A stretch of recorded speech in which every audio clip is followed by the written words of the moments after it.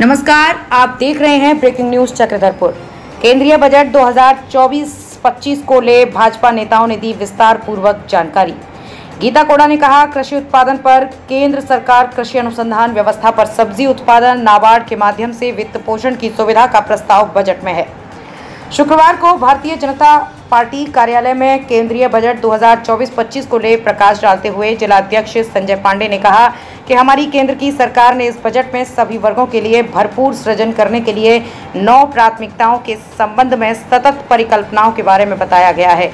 जिसमें कृषि में उत्पादकता और अनुकूलनीयता, रोज़गार और कौशल प्रशिक्षण पर बजट में विशेष स्थान का प्रस्ताव है। पूर्व सांसद गीता कौड़ा ने बताया कि कृषि उत्पादन पर केंद्र सरकार कृषि अनुसंधान व्यवस्था पर सब्ज़ी उत्पादन नाबार्ड के माध्यम से वित्त पोषण की सुविधा का प्रस्ताव बजट में है। युवाओं के रोज़गार और कौशल विकास प्रशिक्षण के तहत पहली बार रोज़गार पाने वाले कर्मचारियों को एक महीने का वेतन तीन किस्तों में पंद्रह हज़ार रुपए दिया जाना है, जिससे 220 लाख युवाओं को लाभ मिलेगा। युवाओं को अतिरिक्त रोज़गार का प्रोत्साहन कामकाजी महिलाओं की हॉस्टलों शिशु गृह की स्थापना, महिला विशिष्ट कौशल प्रशिक्षण कार्यक्रम पाँच वर्ष में 20 लाख युवाओं का प्रशिक्षण के लिए 1000 औद्योगिक प्रशिक्षण संस्थानों का उन्नयन।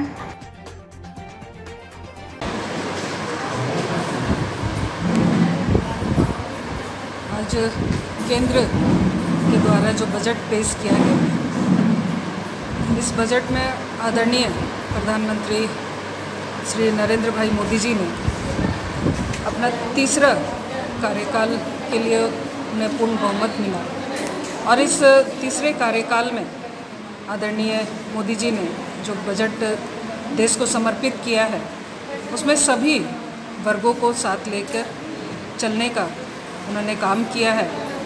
और भारतीय जनता पार्टी जो कहती है कि सबका साथ सबका विकास उसी को पूर्ण करते हुए इस बजट में भी गरीब महिलाएँ, युवा और अन्नदाता विशेष रूप से इसमें ध्यान रखा गया है। और इस बजट में कई ऐसे बिंदु हैं, कई ऐसे महत्वपूर्ण विषय हैं, जो, जिनको आपके माध्यम से हम आज प्रेस ये मैं कहना चाहेंगे। इसमें मुख्य रूप से कृषि और उत्पाद को लेकर के है, रोज़गार, कौशल प्रशिक्षण को लेकर के है, समावेशी मानव संसाधन विकास और सामाजिक न्याय है। विनिर्माण और सेवाएँ हैं। शहरी विकास कैसे हो? ये सुनिश्चित किया गया है। ऊर्जा सुरक्षा है। इंफ्रास्ट्रक्चर है। नवाचार, अनुसंधान और विकास है। और सबसे महत्वपूर्ण, जो अगली पीढ़ी को कैसे सुधार किया जाए, अगली पीढ़ी के लिए क्या कार्य किया जाए, एक दूरदृष्टि लेते हुए ये इस बजट को पेश किया गया है।